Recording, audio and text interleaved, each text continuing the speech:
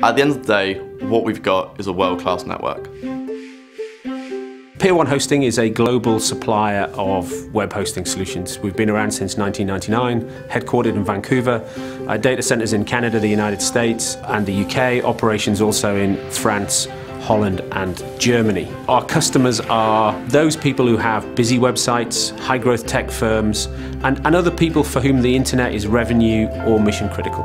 Delivering a high performance network to those customers is vital.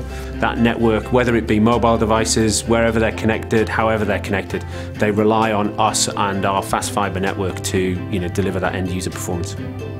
How do we differentiate? Well, we manage our own network because we want to be able in a position that we can respond and give our customers what they need.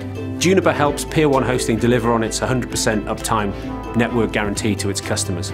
Four key areas where they really help us, manageability, security, scalability and performance. The big challenge for us is to be ahead of our customers' demand, their business demand, and to be able to reconfigure our network and stay ahead of our customers' demand. We choose Juniper, it puts us in total control. What do our customers and their customers want? They want the websites to be up, they want them to be fast, and our customers want to ring us and expect us to increase capacity at the flick of a switch. Peer 1's fast fibre network extends not only over our backbone, but also into our data centres. We implement this at 10 gig. It's very important that we have the capacity and the low latency and the quick deliverable times that our customers expect. Sustainability is important to Peer 1. We have to look to vendors with innovative solutions, and we've looked to Juniper's uh, virtual chassis technology to significantly reduce the power input required to get the performance that we need from our networking equipment. Energy is a massive part of deploying a Peer 1 network.